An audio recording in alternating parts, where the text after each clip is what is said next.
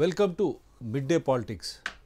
మొన్న సుప్రీంకోర్టులో Vasavi engineering college మరియు శ్రీనిధి ఇంజనీరింగ్ కాలేజ్ మా అంతకు మేము ఇష్టం వచ్చినట్టు ఫీజు పెంచుకుంటాం అని వారు ఏదైతే తెలంగాణ ప్రభుత్వం తరఫున ఫీజు రెగ్యులేట్ రెగ్యులేటరీ అథారిటీ ఉంటుందో Telangana admissions and fees regulatory authority. వారు ఏదైతే రెండు వేల పదహారులో ఎనభై నాలుగు ఎనభై ఆరు వేలని మీరు ఈ ఫీజు మట్టుకే మీరు ఛార్జ్ చేయాల స్టూడెంట్స్కు అని చెప్పి వారికి ఆ నిబంధన విధించడం ద్వారా వారు హైకోర్టును ఆశ్రయించడం జరిగింది. మరల దాన్ని తొంభై ఏడు వేలకు పెంచడం జరిగింది. ఇదే Telangana admissions and fee regulatory authority. అది కూడా కాదని మళ్ళీ ఛాలెంజ్ చేస్తూ హైకోర్టుకు పోతే హైకోర్టు అనూహ్యంగా దానిని లక్ష అరవై వేలు లక్ష యాభై వేలు రెండు కాలేజీలకు పెంచడం ద్వారా ఏదైతే తల్లిదండ్రులు మేము ఇంత ఇచ్చి పిల్లలను చదివించలేము ఇంజనీరింగ్ అని చెప్పి వాళ్ళు సుప్రీంకోర్టుకు వెళ్ళడం జరిగింది. అక్కడ ఈవెన్ ప్రభుత్వాన్ని కూడా ఇంప్లీడ్ చేయడం జరిగింది. దాని ఫలితమే సుప్రీంకోర్టు చాలా నిర్దిష్టంగా ఆ హైకోర్టు ఉత్తర్వులను త్రోసిపుచ్చుతూ ఈ ఫీజు నియంత్రణ అనేది ఎట్టి పరిస్థితుల్లో Telangana admissions and fees regulatory అథారిటీకి సంబంధించిందే. వారి వారి నియంత్రణలోనే ఈ ఫీజు అనేది పెంచడం జరగాలి. తప్ప ఏ కాలేజ్ వారికి ఇష్టం వచ్చినట్టు ఫీజు పెంచుకోవడానికి వీలు లేదు. తద్వారా హైకోర్టు కూడా దాన్ని పెంచడానికి ససేమిరా అంటూ సుప్రీంకోర్టు ఇచ్చిన ఉత్తర్వు నిజంగా బాధితులైనటువంటి విద్యార్థులు విద్యార్థుల తల్లిదండ్రులకు ఎంతో మేలు చేసిందనే చెప్పాలి.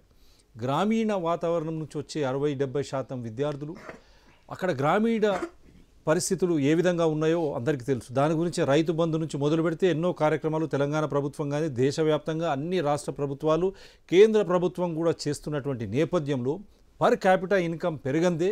ఇష్టానుసారంగా లక్షల లక్షల కొద్దీ ఈవెన్ ఇంజనీరింగ్ కాలేజ్ ఫీజు పెంచడం ద్వారా అటువంటి విద్యకు సామాన్యులను దూరం చేయడమే అంబేద్కర్ రాజ్యాంగ స్ఫూర్తికి విరుద్ధం కాబట్టే ఈ చర్చను మనము చేపడతా ఉన్నాము. ఈ నియంత్రణ అనేది స్కూల్ ఫీజు దగ్గర నుంచి మొదలు పెడితే ఇంటర్మీడియట్ మరియు ఇంజనీరింగ్ మెడికలే కాకుండా అన్ని ఏవైతే డిగ్రీ కోర్సెస్ ఉన్నాయో అన్నిటికీ వర్తించేటువంటి ఈ సుప్రీంకోర్టు ఆర్డర్ నిజంగా ఇప్పటికైనా దీన్ని తెలంగాణ ప్రభుత్వం తక్షణమే Telangana admissions and fee regulatory అథారిటీకి సంపూర్ణమైనటువంటి ఒక అధికారం ఇస్తూ వారిని అసలు పెంచే సమయంలో అకాడమిషియన్స్ తర్వాత అకౌంటింగ్ ప్లస్ లీగల్ వాళ్ళే కాకుండా దాంట్లో పేరెంట్స్ కూడా ఉంటే అసలు ఎందుకు పెంచుతూ ఉన్నారు? నాణ్యత గల విద్య ఏమైనా ఇస్తూ ఉన్నారా? లేక ఇంకేమైనా వసతులు వారు కల్పిస్తూ ఉన్నారా? లేక ఆ కాలేజీల్లో హండ్రెడ్ పర్సెంట్ ప్లేస్మెంట్ ఏమైనా ఉందా? ఎందుకంటే రెండు వేల పద్నాలుగు తర్వాత ఫీజు రియంబర్స్మెంట్ ఆ గత ప్రభుత్వం ఏదైతే అప్పుడు కాంగ్రెస్ ప్రభుత్వం కంప్లీట్ టోటల్ ఫీజు రియంబర్స్మెంట్ అని అప్పుడు ముప్పై ఐదు వేలు నలభై వేలు ఉన్నది. ఆ ఫీజు రియంబర్స్మెంట్ చేసిందో తెలంగాణ ప్రభుత్వం వచ్చిన తర్వాత దశల వారీగా కేవలం మేము ముప్పై వేలు ముప్పై వే ఐదు వేలే ఇస్తాము. గవర్నమెంట్ కాలేజెస్లో ఎంతైతే ఫీజు ఉందో అది మటుకే ఇస్తాం. తదుపరి మీరే పెట్టుకొని చదివించాలా అనే ఒక ఏదైతే ఈ ఉత్తర్వులు జారీ చేసి వారికి ఈ ఇంజనీరింగ్ కాలేజీలకు ఇబ్బంది జరిగిందో దానివల్లనే ఉత్పన్నమైనటువంటి ఈ పరిస్థితి. తద్వారా అమాయకులైనటువంటి నిజంగా వారు మెరిట్లో వచ్చినటువంటి విద్యార్థులకు ర్యాంక్ వచ్చిన అన్ని సీట్లు అన్ని అందరికీ గవర్నమెంట్ కాలేజెస్లో రావు కాబట్టి మెరిట్ వచ్చినా కూడా లక్షల కొలది పెట్టాల్సినటువంటి ఈ దుస్థితి కలిగింది కాబట్టి ఈరోజు మన మిడ్ డే పాలిటిక్స్లోని చర్చ మనకు అతిథులు. Telangana private management association president Janardhan Reddy గారు అదేవిధంగా ఇంజనీరింగ్ కాలేజ్లో విద్యార్థుల తరఫున జాయింట్ యాక్షన్ కమిటీ తరఫున ఏదైతే పోరాటం చేస్తూ ఉన్నారో వారు శరణ్ రైచూర్ గారు వారు అదేవిధంగా Hyderabad students and parents association తరఫున రమణ గారు. Welcome to Mid Day Politics sir. Sharan Raichur ఏ విధంగా చూస్తారు? మొన్న కూడా మీరు ముట్టడికి పోయినట్టున్నారు. అసలు ఈరోజు ఇంజనీరింగ్ కాలేజీలకు ఫీజులు పెంచడం ఆలోచన అసలు చాలా దురదృష్టకరం. అసలు పెంచకూడదు. దేని గురించి ఇంజనీరింగ్ కాలేజీలో ఫీజులు పెంచుతున్నారో అర్థం కావట్లేదు. ఒకటి అర్థం కావట్లేదు నాకు అర్థం కావట్లేదు ఏంటంటే అరవై వేలు డెబ్బై వేలు ఉన్న కాలేజీలు ఈరోజు రెండు లక్షల వరకు లక్షన్నర ఉన్న కాలేజీలు ఈరోజు మూడు లక్షల వరకు. గ్రామాల నుంచి పేద రైతుల బిడ్డలు నానా కష్టాలు పడి ఇంటర్లో గవర్నమెంట్ స్కూళ్ళల్లో చదివి మంచి ఎంసెట్లో మంచి ర్యాంకు తెచ్చుకొని మంచి ర్యాంక్ వచ్చిందని ఆనందంలో మంచి కాలేజీలో సీట్ వచ్చింది ఆనందంతో కాలేజ్కి వచ్చి చూస్తే కాలేజీలో ఫీజు మాత్రం లక్షలు లక్షలు ఉండడం వల్ల చాలా బాధపడుతున్నారు. అక్కడ తీరా చూసేసరికి రియంబర్స్మెంట్ మాత్రం వచ్చేది ముప్పై ఐదు వేలే. ఇప్పుడు ఫర్ ఎగ్జాంపుల్ ఆ అబ్బాయికి మంచి కాలేజ్ మంచి చదివి మంచి ర్యాంక్ వచ్చిందని మంచి కాలేజీలో సీట్ వస్తే ఆ అబ్బాయి మంచి కళ్ళలో జాయిన్ అవ్వడానికి వెళ్తే అక్కడ తీరా చూసేసరికి కాలేజీల ఫీజులు లక్ష యాభై వేలు మూడు లక్షల కాలేజ్ ఫీజులు ఉంటే కానీ రియంబర్స్మెంట్ వచ్చేది ముప్పై ఐదు వేలు. మిగతా ఫీజు ఎక్కడి నుంచి కట్టుకుంటాడు అబ్బాయి? అంటే కాలేజ్ ఫీజు కాకుండా అబ్బాయి అక్కడ గ్రామాలలోకి వెళ్ళి వచ్చి ఇక్కడ ఉండాలి అంటే కూడా అకామిడేషన్ కానీ ఉండడానికి దాదాపు అన్ని లక్షల లక్షలు ఒక రైతు బిడ్డ ఎలా కట్టుకుంటాడో ఒకసారి ప్రభుత్వం కూడా ఆలోచించాలా? ఆలోచించి కాలేజీల ఫీజులు పెంచే ఆలోచన తీసేసి ఉంచితే బాగుంటుందని మా ఆలోచన. మళ్ళీ మీ దగ్గరికి వస్తాను. రమణ గారు మీరు ఒక పేరెంట్గా మీరు ఎంతో కాలం నుంచి స్కూల్ విద్య ఇంటర్మీడియట్ విద్య ఇప్పుడు ఈ కాలంలో మీరు ఈవెన్ ప్రొఫెషనల్ కోర్సెస్ కూడా యాడ్ చేసుకున్నారు మీరు డిగ్రీ వాటికి కూడా. మీది ఒక వీడియో ప్లే చేస్తాం మీరు. క్లిప్పింగ్ ప్లే చేద్దాం మనం. ఒకసారి విందాం అది సార్, నీకు మేమంటే పట్టింపు లేదా? లేదా. మాకోసా కనబడతా లేదా? లేదా. రోజు రోజు పెరిగే స్కూల్ ఫీజులు ఫీజులు. కట్టలేక చేస్తున్నాం అప్పులు. అప్పులు. ఫీజు దోపిడితో మాకెన్నో తిప్పలు. తిప్పలు. టెక్స్ట్ బుక్ స్కూల్లోనే కొనాలి. లేకుంటే ఫైన్లన్నీ కట్టాలి. కేసీఆర్. నీకు మేమంటే పట్టింపు లేదా? లేదా? మా పిల్లలకు భవిష్యత్తు వద్దా? వద్దా. ఫీజు రెగ్యులరైజేషన్ అంటూ నువ్వు? నువ్వు? అడిగావు మమ్మల్ని ఓట్లు. ఓట్లు. నిన్ను నమ్మి వేశాము ఓట్లు. రవ్వంతా తీరలేమ పాటలు. నువ్వేమో అయ్యావు సీఎం. సీఎం. అయ్యాక మా విషయంలో కామ్ కామ్. కామ్ కామ్. ఫీజులేమో పెరిగాయి లక్షల్లో. కట్టలేక మా పిల్లలు ఇళ్ళలో స్కూల్ ఓనర్ చేస్తున్నారు న్యూ సెన్స్ అది చూస్తూ నువ్వెందుకు ఇంత సైలెన్స్ స్కూల్ ఓనర్స్ అయ్యారు సిండికేట్ సిండికేట్ ఖాళీ అవుతున్నాయి మా పాకెట్ ఓ అయ్యా ఇది ఓపెన్ సీక్రెట్ అరికట్టించు ఈ ఫీజుల రాకెట్ మాకు కొంచెం టైం ఇయ్యో కేసీఆర్ మా కోసం వినవయ్యా కేసీఆర్ మా బతుకులు బాగు చెయ్యు కేసీఆర్ కేసీఆర్ కేసీఆర్ కేసీఆర్ కేసీఆర్ కేసీఆర్ ఆడియో వీడియో మీది చాలా పాపులర్ అయింది అప్పుడు ఓట్ల కోసం రెండు వేల పద్నాలుగు తెలుసు మీ దాంట్లో చాలామంది సపోర్ట్ చేశారు అప్పుడు. కమిటీలు నేను పేరు కూడా చెప్పదలుచుకోలేదు కానీ తద్వారా ఇప్పుడు ఏంది పరిస్థితి ఏంది? ఇప్పుడు పిల్లల పరిస్థితి ఏంది? మీరు స్కూల్ కానీ ఇంటర్మీడియట్కి పోతున్నారు ఇప్పుడు ప్రొఫెషన్ కాలేజెస్లో. అసలు పిల్లలు చదువుకునేటువంటి పరిస్థితి ఉందంటారా? ఒక మధ్యతరగతి కుటుంబీకుడు కానీ ఒక రైతు కుటుంబం నుంచి వచ్చినవాడు కానీ? ఇవాళ మేము అబ్జర్వ్ చేసిన దాన్ని బట్టి ఏంటంటే అండి ప్రభుత్వాలు ఎక్కువ మంది విద్యావంతులు తయారవుతున్నారు. వాళ్ళని తయారు చేయకుండా ఉంటే మేము ఉద్యోగాలు క్రియేట్ చేయాల్సిన అవసరం ఉండదేమో. Let them behave private schools the way they want అన్నట్టుగా ఉన్నదండి. ఎలా ఉన్నదంటే యాక్చువల్గా నా గత సంవత్సరం వరకు ఏంటంటే మేము కొంచెం యాక్టివ్గా బాగా ఫైట్ చేస్తూ వస్తున్నాము. ఎక్కడైతే స్కూల్స్ ఫీజులు పెంచుతున్నారో అక్కడికి వెళ్ళి క్వశ్చన్ చేయటము ఇలా జరుగుతుంది. లాస్ట్ ఇయర్ కొంచెం సైలెంట్గా ఉన్నాము. బట్ ఈ సంవత్సరం వచ్చేసరికి మళ్ళీ ప్రైవేట్ స్కూల్లో ప్రతి చోట ఇరవై ఐదు నుంచి ముప్పై ఐదు శాతం ఫీజులు పెంచారు.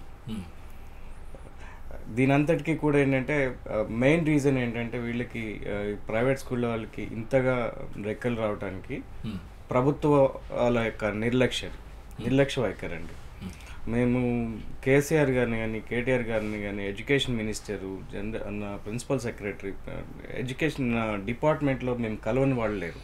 ఈ ఇష్యూని ఎక్స్ప్లెయిన్ చేయడానికి. బట్ వాళ్ళ యొక్క నిర్లక్ష్య వైఖరి వల్ల ఈ రోజు ప్రైవేట్ స్కూల్లో యాజమాన్యాలు వాళ్ళ ఇష్టం వచ్చినట్టుగా బిహేవ్ చేస్తూ ఫీజులు పెంచుతూ ఉన్న చట్టాలన్నింటినీ తుంగలో తొక్కుతున్నారు. యాక్చువల్గా ఒక విషయానికి వస్తే స్కూల్ యూనిఫామ్స్ కానీ బుక్స్ కానీ ఏవి ప్రైవేట్ స్కూళ్ళలో అమ్మకూడదు. ఓకే. కొన్ని స్కూళ్ళు ఏం చేస్తున్నాయంటే డైరెక్ట్గా ప్రైవేట్ నా స్కూళ్ళలోనే క్యాంపస్లు పెట్టేసి అమ్మేస్తున్నారు. కొంతమంది లేటెస్ట్గా రీసెంట్గా న్యూ న్యూ ట్రెండ్ ఏంటంటే ఆన్లైన్ స్టోర్స్ ఓపెన్ చేసేసి వాళ్ళు ఆన్లైన్ స్టోర్స్లోనే బుక్స్ కొనాలి యూనిఫామ్స్ కొనాలి. వీటికి వచ్చే అయ్యే ఖర్చు ఎంతవరకు అంటే minimum close to fifteen thousand నుంచి twenty thousand rupees only books and uniforms యూనిఫామ్స్కి అవుతున్నది దీని తర్వాత ఇది కాకుండా అడ్మిషన్ ఫీజులు అని చెప్పేసి ఆల్మోస్ట్ జనరల్గా మన లా ప్రకారం అయితే ఐదు వేల కంటే ఎక్కువ కలెక్ట్ చేయకూడదు. Now today majority of the schools collecting from twenty thousand to two lakhs దానికి ఒక రిసిప్ట్ ఇవ్వరు. ఆ, డబ్బు ఎక్కడికి వెళ్తుంది ఎలా వెళ్తుంది అని ఎటు వెళ్తుంది అనేది కూడా ఎక్కడ లెక్కలు ఉండవు. ఎవరైనా రిసిప్ట్ అడిగితే లేదు మీ బాబుని మీరు తీసుకెళ్ళిపోండి లేదు అంటే మా దగ్గర జాయిన్ చేయొద్దు వెళ్ళిపోండి. లేదంటే కక్ష సాధింపు. లేదంటే కక్ష సాధింపు. ఒకవేళ ఆ ప- పిల్లలు ఆల్రెడీ వాళ్ళ పిల్లలు స్కూల్లో ఉంటే టీసీ ఇచ్చేసి పంపించేస్తారు. లేదు వాళ్ళు టీసీ తీసుకోవడానికి రాలేదు అంటే టీసీలు. పోస్టులలో కొరియర్లో పంపించేస్తున్నారు. ఇలాంటి పరిస్థితి తయారైంది. తిరుపతిరావు కమిటీ మేము యాక్చువల్లీ ఆల్మోస్ట్ మీకు తెలుసు. కిషన్ రావు తర్వాత తిరుపతిరావు కమిటీ వేశారు. Tirupathi Rao vice chancellor four. Tirupathi Rao committee వేస్తారు తిరుపతిరావు కమిటీ రిపోర్ట్ యాక్చువల్గా ఏంటంటే ఇనిషియల్గా తయారైంది. పేరెంట్స్ అసోసియేషన్కి చాలా ఫేవర్గా ప్రిపేర్ చేశారు రిపోర్ట్. యాక్చువల్గా ఏంటంటే అందులో తిరుపతిరావు కమిటీలో డిఫైన్ చేసింది ఏంటంటే ఉన్న స్కూళ్ళ ప్రైవేట్ స్కూల్ అన్నిటిని కూడా త్రీ కేటగిరీస్ కింద డిఫైన్ చేశారు. డివైడ్ చేసి కేటగిరీ ఏ బీసీ అని చెప్పేసి వాళ్ళ యొక్క ఇన్ఫ్రాస్ట్రక్చర్ని బేస్ చేసి. Twenty thousand forty thousand sixty thousand అనేది ఒక ఫీ డిఫైన్ చేశారు. డిఫైన్ చేసి ఆ report just next day reveal అవుతున్న టైంలో దానికి ఓవర్ నైట్ రిపోర్ట్ చేంజ్ అయిపోయిందండి. కిషన్ రావు కమిటీ రిపోర్ట్ లాగానే. రెండు వేల పద్నాలుగు జూన్లో తెలంగాణ రాగానే ఆయన కమిటీ రిపోర్ట్ ఇచ్చాడు రెండు సంవత్సరాలు. మరి ఏమైంది ఎవరికి అర్థం కాదు మాకు తిరుపతిరావు గారు వన్ డే ప్రయర్ మాకు రిపోర్ట్ చూపించారు. This is what the report we are going to put in front of the government అని చెప్పేసి చెప్పారు. తెల్లారి మేము మీటింగ్లోకి వెళ్ళి కూర్చున్న తర్వాత మేము చూసిన రిపోర్ట్ ఏంటంటే ప్రతి ఒక్క private school ten percent by default పెంచుకోవచ్చు స్కూల్ ఫీ అని చెప్పేసి ఓవర్ నైట్ చేంజ్ అయిపోయింది. రైట్ మేము అప్పుడు యాక్చువల్గా మళ్ళీ in front of the secretariat మళ్ళీ ఒక టూ డేస్ ధర్నా కూర్చోవటము కడియం శ్రీ గారి దగ్గరికి గారి దగ్గర అప్పుడు విద్యాశాఖ మంత్రి దగ్గర కలవటము. ప్రిన్సిపల్ సెక్రటరీ అప్పుడు మనకి రంజీవ్ ఆచార్య గారు వీళ్ళతోటి కంటిన్యూస్గా ఒక వన్ వీక్ ట్వంటీ డేస్ అక్కడ? కూర్చొని ధర్నా చేస్తే? వాళ్ళు ఒక నోటిఫికేషన్ జారీ చేశారు. ఏ ప్రైవేట్ స్కూల్ కూడా తిరుపతి ఇప్పుడు ఇప్పుడు ఇప్పుడు ఇష్యూ చేసిన ఏదైతే రివీల్ చేసిన తిరుపతిరావు కమిటీ రిపోర్ట్ ఉన్నదో అది ప్రాపర్గా లేదు ఓకే? దాన్ని మళ్ళీ రివైజ్ చేసి మళ్ళా రివీల్ చేసేంత వరకు కూడా ఏ ప్రైవేట్ స్కూల్ కూడా ఫీజు పెంచడానికి వీలు లేదు అని చెప్పేసి. ఒక ఆర్డర్ ఆర్డర్ ఇష్యూ చేశారు. కానీ దా ఆ ఆ ఆర్డర్ని ఏ ఒక్క ప్రైవేట్ స్కూల్ పట్టించుకున్న పాపన లేదు. ఎందుకంటే విద్యాధికారులు నిద్రపోతున్నారు. నిద్రపోవట్లేదు. ఇంప్లిమెంట్ చేయాల్సింది డిఓలు ఆర్జేడీలు కాబట్టి. ఆర్జేడీలు వీళ్ళంతా implement director district education officer DEOs MEOs DEOs MEOs వీళ్ళంతా అది ఇంప్లిమెంట్ కాలేదు మానిటర్ మానిటర్ చేయాలి. వాళ్ళు మానిటర్ చేయట్లేదు అది ఇంప్లిమెంట్ అవ్వట్లేదు. మానిటర్ చేయకపోవటం అనేది కాదు. వాళ్ళు మానిటర్ చేస్తున్నారు. విషయం ఏంటంటే ఇక్కడ వాళ్ళు నిద్రపోయేటి వాళ్ళని లేపొచ్చు మనం. నిద్రపోయేటట్టు నటిస్తున్నారు. ఈవెన్ ఇంక్లూడింగ్ కేసీఆర్ గారు కానీ కేటీఆర్ కానీ విద్యాశాఖ మంత్రులు కూడా వాళ్ళే చేస్తున్న- పని కూడా అదే. వాళ్ళే వాళ్ళు కూడా నటిస్తున్నారు. దాన్ని ఇంప్లిమెంట్ కాకుండా చూసేది కూడా వారే చూసేది కూడా వాళ్ళే. సో దానివల్ల ఇప్పుడు ఇష్టం వచ్చి ఇష్టానుసారంగా ప్రైవేట్ స్కూల్స్ ఫీజులు పెంచుకుంటూ పోతున్నారు పెంచుకుంటూ. పోతున్నాయి. పెంచకూడదు మళ్ళీ తిరుపతి రావు కమిటీ రివ్యూ చేసే వరకు పెంచకూడదు. అంతే కదా? అంతే. మళ్ళీ వస్తాను మీ దగ్గరికి. జనార్దన్ రెడ్డి గారు ప్రైవేట్ స్కూల్స్ మేనేజ్మెంట్ మీరు ప్రెసిడెంట్ ఇప్పుడు నిన్న కూడా బీజేపీ కే లక్ష్మణ్ ప్రెసిడెంట్ గారు కూడా ధర్నా చౌక్లో ధర్నా చేస్తూ ఉన్నారు అందరితో కలిసి హెచ్ఎస్పిఏ తర్వాత మిగతా తల్లిదండ్రులు విద్యార్థి సంఘాలతో కలిసి. ఇంత పెంచకూడదని చెప్పి బీజేపీ తరఫున కూడా వారు కూడా పెద్ద ఎత్తున ఇందిరా పార్కులో ధర్నా కూడా చేసినారు నిన్న. ఎట్లా చూస్తారు ఇదంతా? ఈ కార్పొరేట్ వ్యవస్థ వచ్చిన తర్వాత విద్య టోటల్గా వాళ్ళ చేతిలో వెళ్ళిపోయింది. ఈ కార్పొరేట్ వ్యవస్థ అంటే వీళ్ళు విద్య అంటే స్కూల్స్ స్కూల్స్ అంటున్నారు కానీ ఈ ఎస్పీ అంటే రమణ గారు కానీ లేదా వెంకట్ గారు కానీ ఎవరైనా కానీ ఒక- ఒక వ్యవస్థలో fifteen percent ten to fifteen percent స్కూల్సే. ఒక hardly two hundred to two fifty schools ఉండొచ్చు లేదా త్రీ హండ్రెడ్ స్కూల్స్ ఉండొచ్చు. టోటల్గా private schools ten thousand schools ఉన్నాయి. లాస్ట్ ఇయర్ ట్వెల్వ్ థౌసండ్ ఉండే.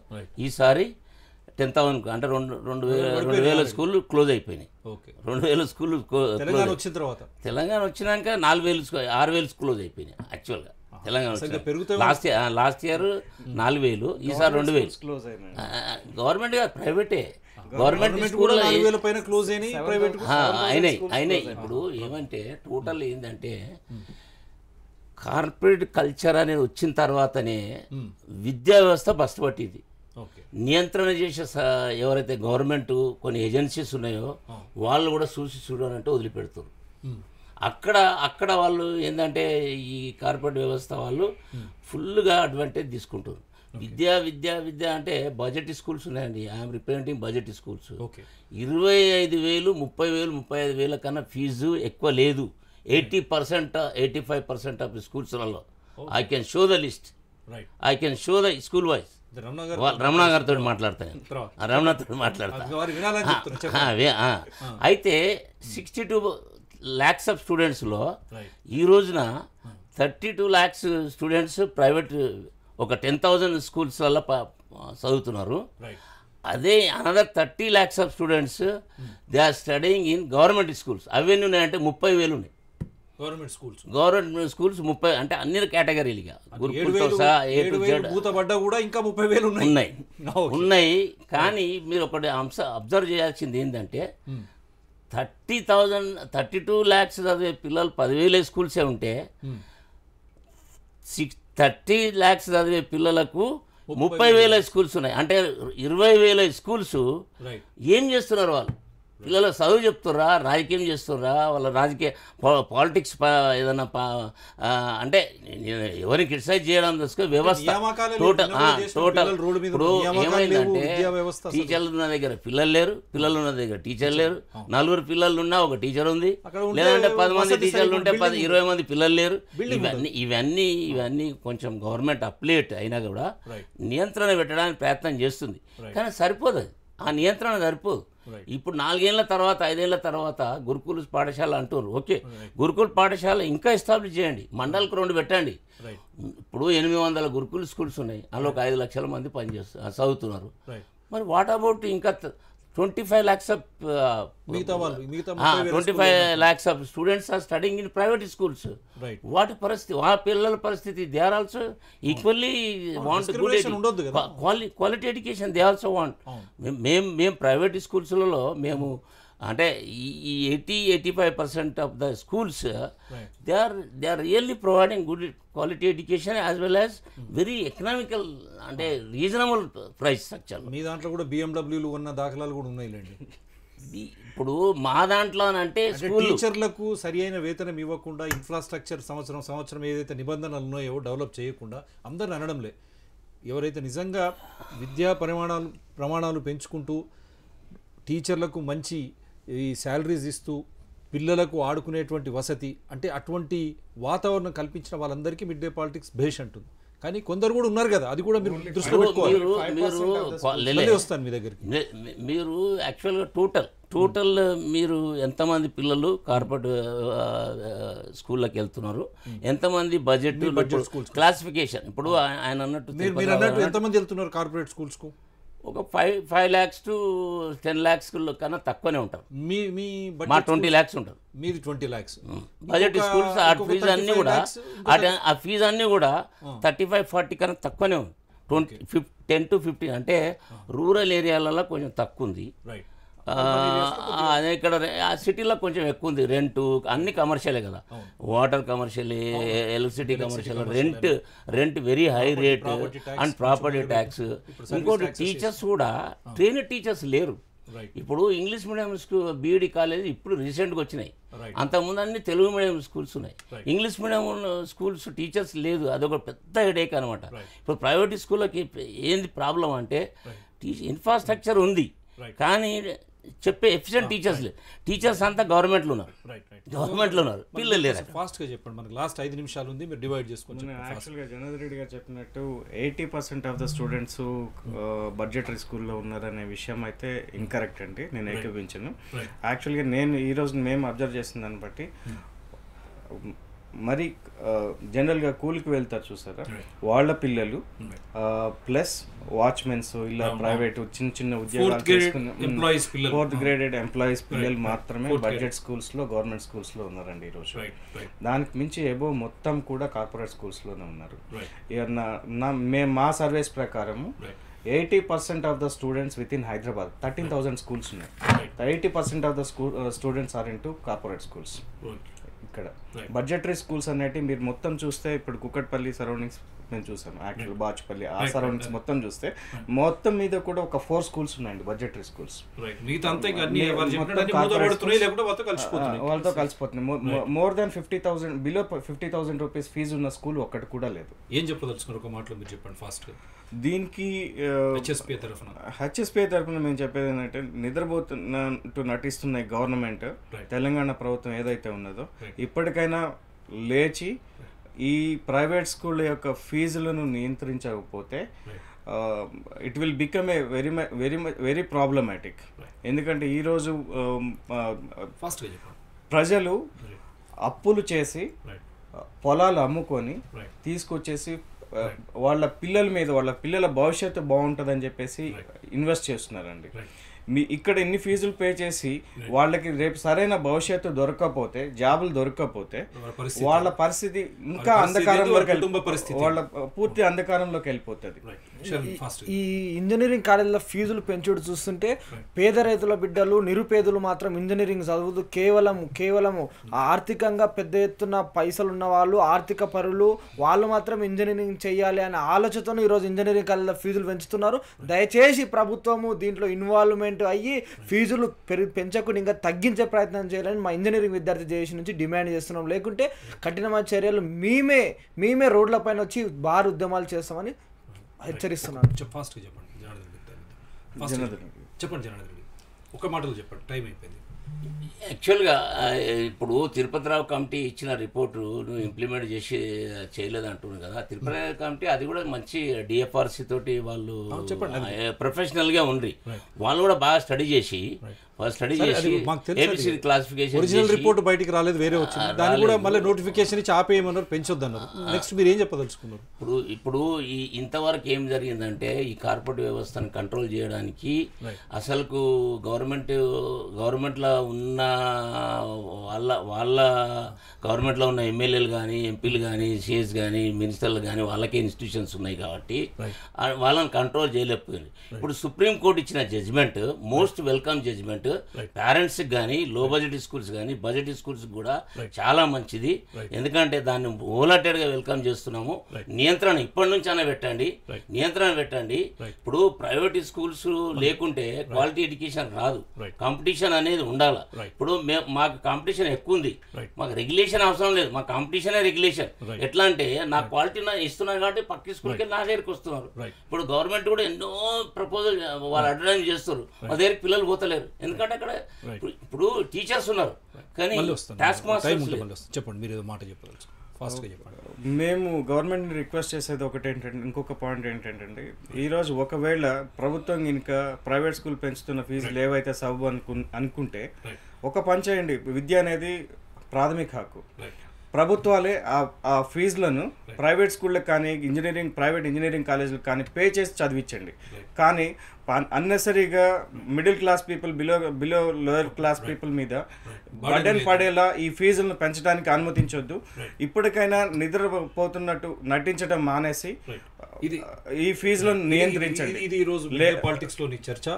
ప్రభుత్వం సంక్షేమం అంటే వెల్ఫేర్ యాక్టివిటీ విద్య అనేది సుప్రీంకోర్టు కూడా చాలా క్లియర్గా ప్రాఫిటీరింగ్ తర్వాత క్యాపిటేషన్ లేనటువంటి విద్యా వ్యవస్థ అంటే లాభాలు లేనటువంటి non profitable organisations societies act కిందనే విద్యా ఈ మొత్తం ఈ సంస్థలు నడవాలి కాబట్టి సుప్రీంకోర్టు మొట్టికాయలు చాలా క్లియర్గా ప్రాఫిటీరింగ్ అండ్ క్యాపిటేషన్ లేనటువంటి వ్యవస్థ తెలంగాణలో తీసుకురావాలని చెప్పి మొట్టికాయలు పెట్టింది కాబట్టి తెలంగాణ ప్రభుత్వం ఇప్పటికైనా మేలుకొని విద్య అనేది క్వాలిటీ విద్య అందరికీ కులాలకు మతాలకు లేక వర్గాలకు లేకుంటే ఉన్నోడికి లేనోడికి ఇంటర్నేషనల్ స్కూల్ ఈ స్కూల్ అని ఈ కాలేజు ఆ కాలేజ్ అని లేకుండా అందరికీ నాణ్యతమైనటువంటి విద్య ఆ విద్య ద్వారా వారికి భవిష్యత్తు ఉండేటువంటి విద్య అందరికీ అందించాల్సిన బాధ్యత తెలంగాణ టీఆర్ఎస్ ప్రభుత్వం కేసీఆర్పై ఖచ్చితంగా ఉంది.